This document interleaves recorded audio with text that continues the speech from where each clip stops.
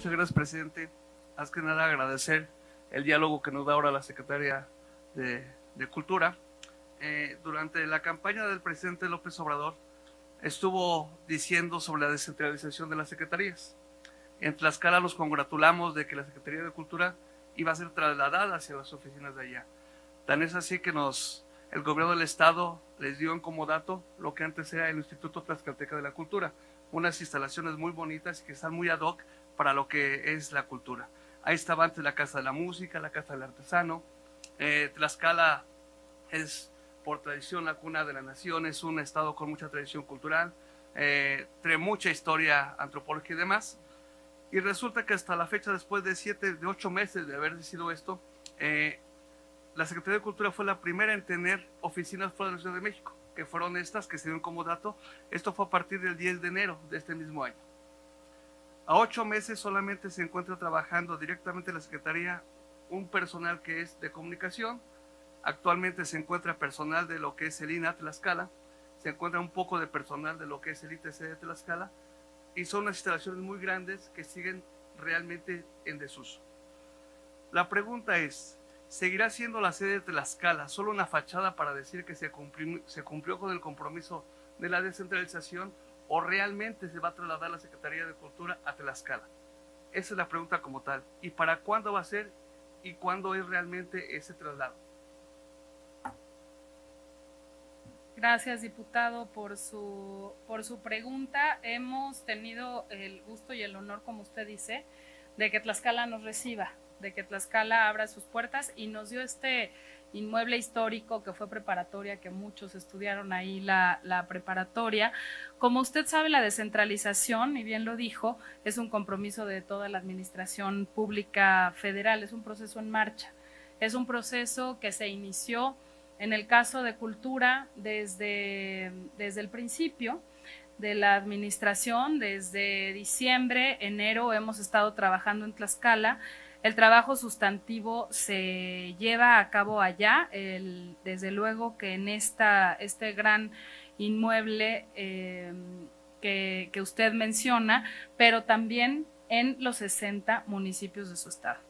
Avanzamos en un proceso paulatino de reubicación de áreas administrativas.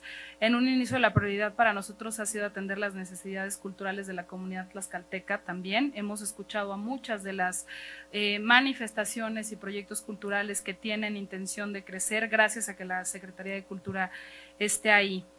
Eh, la eh, gran infraestructura que se tiene en esta ciudad pues opera de manera en la ciudad capital, opera de manera cotidiana y tiene un proceso cada una de las áreas de cultura para estar presentes en eh, cada una de las áreas de la Secretaría de las Direcciones Generales tienen un proyecto emblemático que los va a ir acercando y trasladando cada vez más a este, a este estado.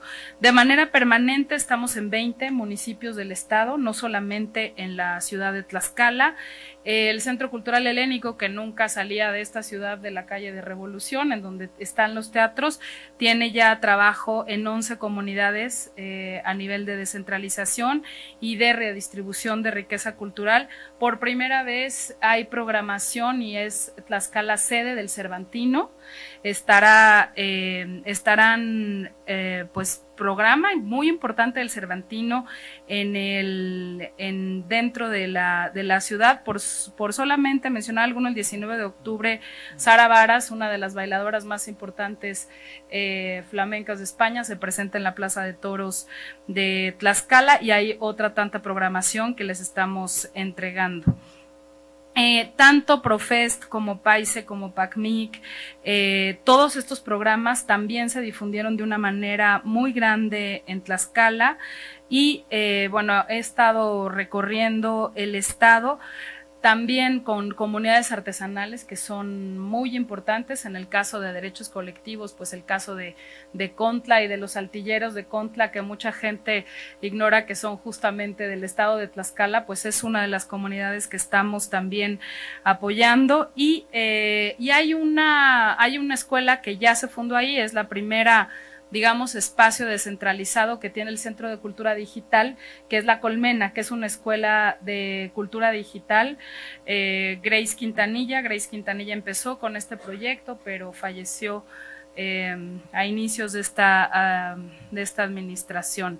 Y tenemos un proyecto muy importante con el instituto, con el INERM, para eh, justamente conmemorar estos 500 años. La escala tiene un papel fundamental en la historia eh, de México y en estos momentos hay que, hay que recontar esta historia y va a haber una exposición que ocupe gran parte de este edificio al que usted hace referencia y otros dos museos regionales. Eh, la colaboración es permanente no solo con el gobierno del estado y con el ITC, sino también con las comunidades. Hay otra línea de trabajo muy grande en Ixtenco que tiene que ver con cultura alimentaria. Ustedes son un, eh, pues Tlaxcala es un estado que tiene mucha conciencia sobre la cultura alimentaria, sobre el maíz criollo y sobre la defensa, bueno, tierra de, tierra de pan de maíz. Eh, este, este programa de cultura alimentaria con el que no contaba la Secretaría se desarrolla justamente en el estado de Tlaxcala. Este es un proceso que se llevará a cabo.